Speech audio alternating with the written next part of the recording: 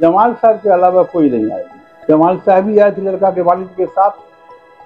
उन्होंने इंट्रोड्यूस करवाया। नहीं। पहली मुहर्रम को दरभंगा जिला मुहर्रम कमेटी के कार्यालय के ठीक सामने बच्चे द्वारा लहराए गए फलस्तीन झंडा विवाद को लेकर जिला प्रशासन ने मुकदमा कर जेल भेज दिया था। कल मोहम्मद गुलजार को दरभंगा जिला न्यायालय से बेल मिल गया। उस पर आज एडवोकेट अंबर इमाम हाशमी ने आवास पर पत्रकारों से किए गए सवालों पर कहा, गलत तरीके से प्रशासन ने केस कर बच्चों को जेल भेजा है, जो पूरी तरह से अनुचित है। और डॉक्टर जमाल हसन ने बच्चों के बेल के लिए मुझसे संपर्क कर दरखास्त की थी। उनके अलावा किसी ने मुझसे बच्चे के बेल के लिए संपर्क नहीं किया। वहीं मौके पर मौजूद डॉक्टर जमाल हसन का कहना है कि फिलिस्तीन झंडा लहराने का मामला कोई बड़ा विवाद था ही नहीं। अफसोस इस बात का है कि इस मामले पर कई बड़े नेता पूरी तरह से चुप थे और वो पीड़ित परिवार के साथ खड़े तक नहीं हुए और न ही मुहर्रम कमेटी के लोग इस मामले में खड़े हुए। एक्चुअली वो जो केस हुआ, घटना की तारीख किया आठ सात चौबीस। तेरह को एफ़ हुआ है। पुलिस ने लिखा कि बारह को हमने सनहा दर्ज किया था और तेरह को हमने एफ़ किया। हमने उसे दफ़ा लगाया था एक सौ छियानवे, एक सौ संतानवे भारतीय न्याय संहिता। उसमें कहता क्या है कि अगर दो कम्युनिटी के बीच, डिफरेंट कम्युनिटी के बीच कोई ऐसा काम करे जिससे कि हैट्रेड पैदा हो, नफरत पैदा हो तो उसके लिए वो दफ़ा लगाया गया है। या देश की शांति खतरे में हो। जो मामला बनाया पुलिस ने बनाया कि वो बनता नहीं है। नंबर वन के आठ तारीख को किसी ने शिकायत यह नहीं किया कि उसके झंडा फहराने से फहराए भी तो तो हमको नफरत हुई, कोई दंगा हुआ उस बात को लेकर। आठ से लेकर बारह तक पुलिस साथ बैठी रही कोई एफ़ नहीं किया। तो किसी ने प्रोटेस्ट तो किया ही नहीं। जब प्रोटेस्ट नहीं किया तो हंगामा कैसे होगा, देश खतरा में कैसे पड़ेगा? और अगर कोई झंडा था भी बेस्ट कपड़ा बर्बाद कपड़ा। और बारह को जो सना किया और तेरह को एफ़ आई आर किया एफ़ आई आर दर्ज क्यों नहीं की? मोहल्लम के जुलूस ऑल थ्रू पुलिस रहती है। मौजूद पुलिस उस बच्चे को गिरफ़्तार क्यों नहीं किया? These are the points for determination for bail बात को कोर्ट ने सुना और कोर्ट ने सुने उसको बेल ग्रांट करेंगे नहीं अभी तो नहीं होगा इतना इन्वेस्टिगेशन में केस है। हर केस की का तरीका है एफ़ आई आर हुआ है। दो मुदाले उसमें और हैं। क्या बाकी है? इन्वेस्टिगेशन होगा। अगर हम लोग लड़ेंगे इस बात के लिए मेरा मेन प्ली उसमें यह है कि नो केस बेड आउट। जो पुलिस ने केस बनाया है, उससे कोई केस बनता ही नहीं। No offence is being made out.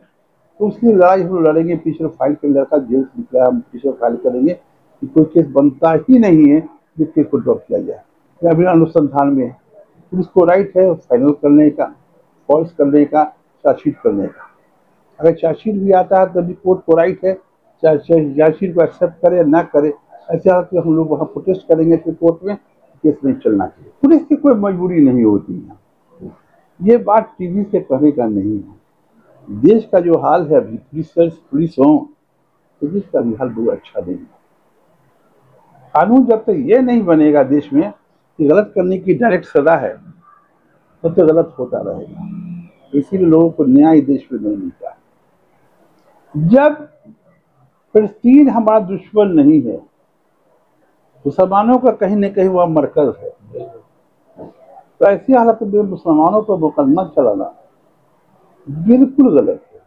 मुकदमा चलाना ही नहीं चाहिए फैल करना ही नहीं चाहिए।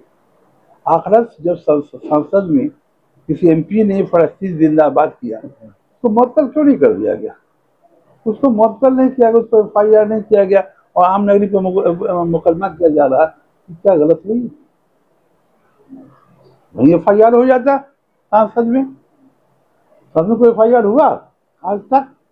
वह भिड़ा हुआ करो एफ़ आई आर अब जय श्री राम का नारा लगाते हैं, कोई एफ़ आई आर नहीं तो फलस्तीन कर दे तो एफ़ आई आर ये हम समझते हैं कि कानून का दोहरा मैप है और पुलिस का जो रोल है इस मुकदमा में, बिल्कुल गलत है। जमाल साहब के अलावा कोई नहीं आएगा जमाल साहब ही आए थे लड़का के वालिद के साथ।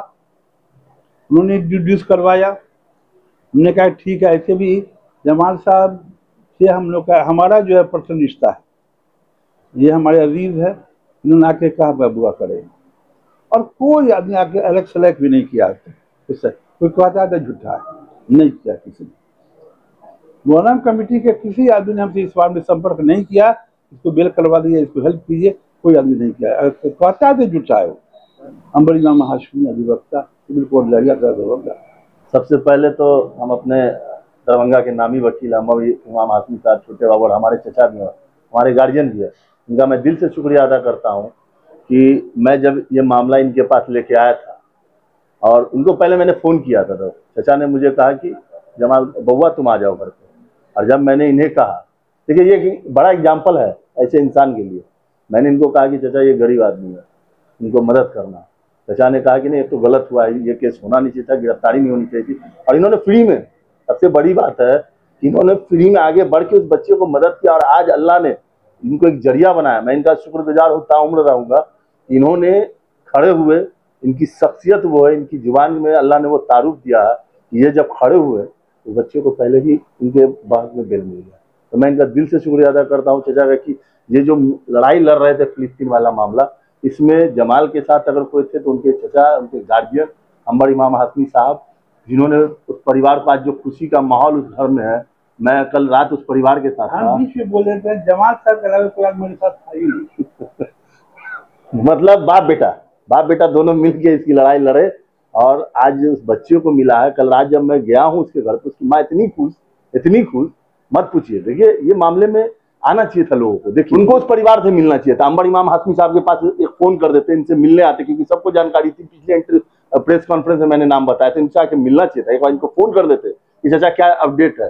क्या कर रहे हैं आप? चाचा, एक बार क्या इनके पास नहीं आया, ना उस परिवार से मिलने गए। तो राजनीति, सोशल मीडिया, दूसरी, सबसे बड़ी बात जो इस क्षेत्र से राजनीति करते हैं इस क्षेत्र से चुने गए सांसद रहे हैं विधायक रहे हैं और इवन लोगों ने वोट किया उन लोगों ने भी अपनी चुप्पी इस मामले पर डाली तो कहीं ना कहीं उन्होंने समर्थन किया है वैसे लोगों को जिन्होंने इसके खिलाफ काम किया था। आप एक, जानकारी रामनवमी में हिंदू राष्ट्र का बैनर लगा उस उस बंदे की गिरफ्तारी में जो बच्चा नहीं था एक अवैध आदमी था उम्र दराज आदमी था उसको थाने से पीआर बॉन्ड देके छोड़ दिया गया क्योंकि उसके साथ लोग खड़े थे जमात थी। जब थाने वाले मामला हुआ उसमें जमाल अकेला पड़ गया। जमाल के साथ कोई नहीं खड़ा। हो सकता था उस लड़कियों को जेल की जगह पहुँच जाता था कि थाने से पीआर बॉन्ड देके छोड़ा। तो ये दबाव की राजनीति तो हुई है। प्रशासन पर पूरी तरीके से दबाव बनाया गया। दबाव इसलिए बनाया गया कि भैया उसकी गिरफ्तारी देखिए दरअसल क्या है ना कि इस अभी जो देश का माहौल है रियल में हर एंगल को हिंदू मुस्लिम हिंदू मुस्लिम हिंदू मुस्लिम खेला जा रहा है। और खासकर ये सबको पता है कि भाजपा के लोग इस, इसी काम के लिए ही इस देश में राजनीति कर रहे हैं। इन्होंने फिलिस्तीन के झंडे के मामले में मैं तो आज भी और उसी बात को दोबारा रिपीट करूँगा कि झंडा लहराने का मकसद क्या है? लहराने का मकसद क्या। मकसद सिर्फ़ यही था कि जो हज़ारों बच्चे वहाँ मारे जा रहे हैं, हज़ारों लोग मारे जा रहे हैं, बमबारियाँ हो रही हैं, उसे, उसके लिए सिर्फ़ इन लोगों ने यहाँ झंडा बुलंद किया था कि झंडे को लहराने से कम से कम ये मैसेज जाएगा, देश में, पूरे दुनिया में मैसेज जाएगा कि भारत के, बिहार के, दरभंगा जिला में भी लोग ये झंडे को उठा रहे हैं कि ये लड़ाई बंद होनी चाहिए, ये हमले बंद होनी चाहिए। मैं इनका दिल से शुक्रिया अदा करता हूँ। इन्होंने उसकी लड़ाई लड़के जमानत भी करवाई और सबसे बड़ी बात है कि गरीब परिवार से एक रुपया तक नहीं लिया। ये तो बहुत बड़ी बात है। आज के डेट में जहाँ वकालत में सब लोग पैसे के लिए मार करते हैं शायद इस बेल में जो है पैसे की कमाई अच्छे से होती है, क्योंकि कुछ वकीलों ने उस परिवार को कहा था, इतने पैसे दे दो, इतने पैसे। वहाँ उन्होंने ये फ्री किया तो अल्लाह इनको, हम तो कहेंगे कि उम्र दराज रहे और इनका उम्र और लंबा हो, या ऐसे ही लोगों का इफला करते रहे। और मैं दिल से शुक्रिया अदा करता हूँ। हमारे गार्जियन है, हमारे फादर की तरह है। और हमारा इनसे फैमिली रिलेशन है और इन्होंने उस परिवार के साथ खड़े हुए। इनके लिए मैं इनका बहुत बहुत दिल से शुक्रिया अदा करता हूँ। Doctor Jamal Hasan national coordinator Akhil Bharatiya Congress committee, अल्पसंख्यक विभाग।